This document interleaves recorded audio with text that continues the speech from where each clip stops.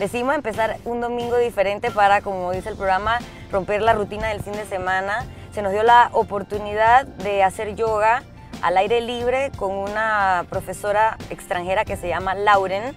Eh, así que realmente es otra prueba más de que no hay excusas para no hacer ejercicio. Las razones llegan a ti de todas las maneras, formas y colores, incluso gratis, como era hoy en la cinta costera. Fue una clase aproximadamente de una hora y media. Eh, por muchas razones es súper bueno hacer yoga. Yo pienso que si tú tienes la oportunidad de que el lugar donde estés haciendo ejercicio o que tenga un estudio de yoga cerca, lo hagas como un complemento al ejercicio que estés haciendo o te dediques al 100% como tu rutina de ejercicios. Es súper positivo porque algo que dijo muy importante en la clase es que la respiración es como el agua para el cuerpo y en yoga se, eh, centran en, ayudarte a cómo respirar correctamente para que puedas mantener posturas incómodas o puedas eh, prolongar un ejercicio por mucho tiempo, que es una de las cosas que a mí más me gusta del yoga.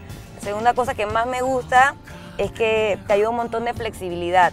Muchas veces cuando uno se enfoca en hacer ejercicios, te haces eh, ejercicios para la fuerza, para estar más musculoso y eso de cierta manera te empieza como a engarrotar un poco los músculos y el yoga es como el balance perfecto porque te ayuda a elongar, a estirar, a tener mayor flexibilidad, que es como para mí la contraparte perfecta para cualquier ejercicio de fuerza.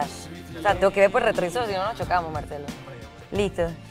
había, no, había estado pensando hacer algún programa dedicado a yoga, como dije, ya sea como para que lo utilices como tu ejercicio principal o como un complemento y se dio la oportunidad de este evento al aire libre que me enteré por nada más que por Facebook, así que no hay excusas, no, no tienes que estar metido en esto para que te enteres de estas actividades, cada vez son más, cada vez son mucho más accesibles, no, no cuestan nada y estoy seguro que, que después que termines te vas a sentir bien vas a pensar que tu domingo comenzó como debía.